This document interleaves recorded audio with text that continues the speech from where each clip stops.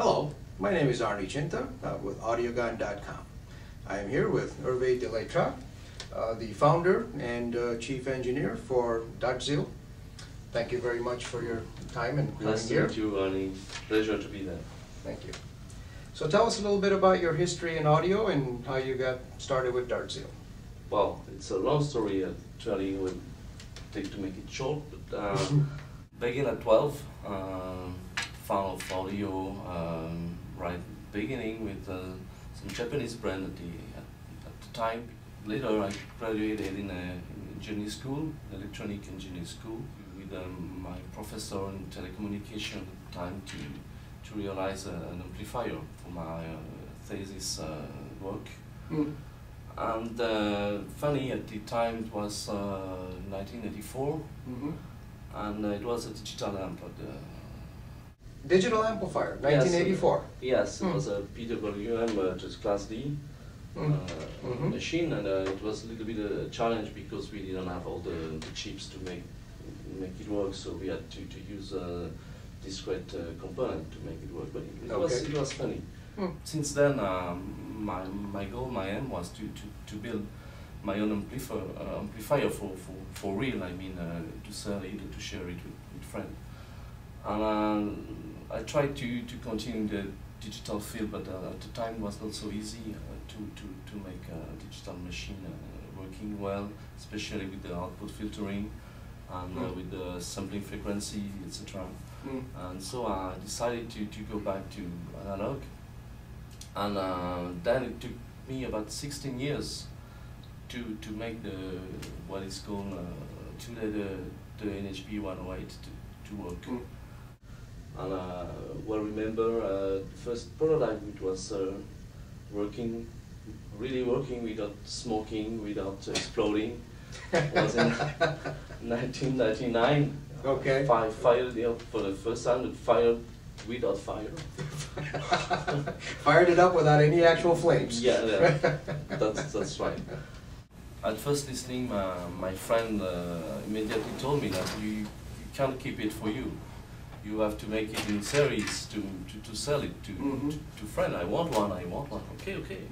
so I prepared three, four machines in a hurry to go to the HE uh, 2002 Mm. to, to introduce the amplifier. Uh, it, it was it was very nice because uh, I had a very good uh, reception uh, from American people. Uh, I was um, like in paradise, in heaven. I mean, uh, so so so young in the industry, and we so so smile on uh, the reviewer and the, the just to discover a new machine. And then we we just had uh, to consolidate because uh, I was still alone on the process, and so the reason I, uh, I searched to to search to come in the company, and we founded DarTZeel uh, Incorporated in uh, 2004. Mm. Uh, Serge uh, became the president and I'm the designer. So so we are work together in, uh, in this field. Okay, okay. So considering uh, some of the technical aspects of the amplifier, um, uh, I understand you have a patent on the circuit? Yes, uh, it's true. Uh, actually, uh, my first goal was to, to make a uh, machine as simple as, as possible. When you look at uh, all the tube machine, Mhm. they use uh, very few components and Mm. you usually uh, get very good sound. I was wondering if it was only because it's transistor versus tube or maybe just because the, the transistor schematics were too complicated regarding Mm. tubes. Okay. So uh, I tried to, to make a simple, uh, as simple as possible uh, transistor uh, scheme. Basically, I, I work with like Lego, Lego Mm. circuit, very simple s- schematics. Okay. And uh, when it was working, I tried to remove one part of the Lego. Ah. Was is the building was still Or if it catches on fire or not? Yeah, that, that's it. That's it. So And, remove uh, as many components as possible? Yes, yes, yes, and of course it was not working uh, as easy, but it was the, the principle.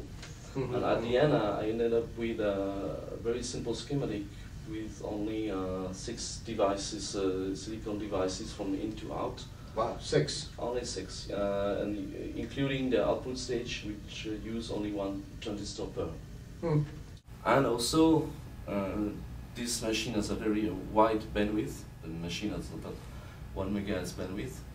It's 50 times the frequency you need for audio, but Mhm. uh, it's the about the range you need if you don't have to have more too much phase shift at the end of the audible spectrum. Mhm. It was not easy to, to, to make it work all Yeah. together. No feedback, yet wide bandwidth, Yes, and uh, stable? Yes, yes, it, it was not easy, uh, and uh, it's because it took me so much time. that's why. So the schematic is so simple that we, we can use it for uh, down, downscaling it for uh, preamp and downscaling it again for phono stage. Or, Down to phono. Yes, Wow, yeah, okay. down, down to the phone Mm. with some adaptation, of course. Sure. And then we, we realized the preamp, but the goal in the preamp was also to make a preamp without any switch or relay or contact in the signal path. Single path. So how do you select Uh, Yeah, in volume and so on? that was the challenge because uh, how, how, Yeah, how? can How do you do it? So actually we use uh, optical uh, components. Oh. You can just enable or disable inputs Mm. Without uh, connecting or disconnecting. connecting, We just enable or disable, so Wow. by light if you want. Mhm. And also the volume control is the same. We use four, uh, uh, two volume control per side. We have a lot of Mhm. software in the preamp to control everything, but the signal path is fully analog. Mm. And uh, the, the, the, the path is very short too because the, there is no, no, no sound going to the front plate. Very short path. So no selector, rotating selector switch or There, there, there is in the- potentiometer? There is in the I mean, you have them, but not in the circuit. That's it. Wow. That's it. Wow. There is no zero contact in the signal path. Mm.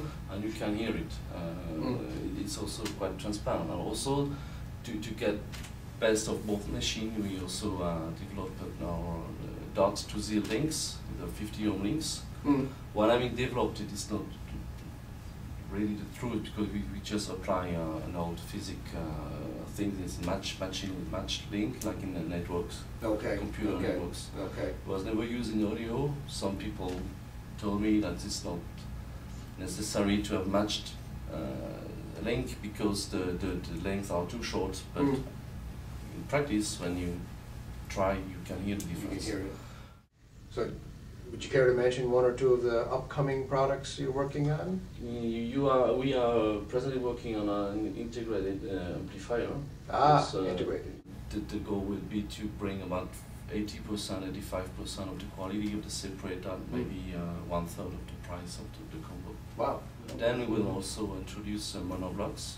Ah. The goal will be uh, bringing monoblocks with the same quality of sound as we have now. It, will be another challenge, so Okay. will take some time to. Before the monoblocks come, or whether, or if I have one of your stereo amplifiers, and I find that I have very large speakers in a large room, and would like more impact, uh, would you recommend biamp, vertical biamp? How would you recommend? Oh, uh, If yes. I was to buy two of your stereo amplifiers, Yes, uh, yes, the vertical biamp is uh, what we, rec- we recommend because uh, you cannot bridge the machine. because if you bridge, the amplifier sees half the speaker impedance. Am I correct in that? Yes, uh, So it needs a uh, lot more current now. Yes, you need more uh, twice the current when you bridge, and uh, the the transistor cannot cope with double the current. The current, the transistor uh, uh, can can give about 25 amps. That's quite a bit, but Quite a bit for one per, but uh, I like to have some headroom, and uh, when you breach, you, you never know. So you uh, recommend a vertical biamp Vertical the- yes, yes, it's a, it's a good good way.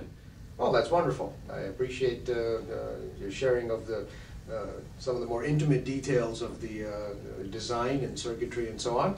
And it's a, it's an absolute pleasure to get to know you. It was a pleasure for me. Thank you very Ali. much. See you soon. Thank you very much. Bye-bye.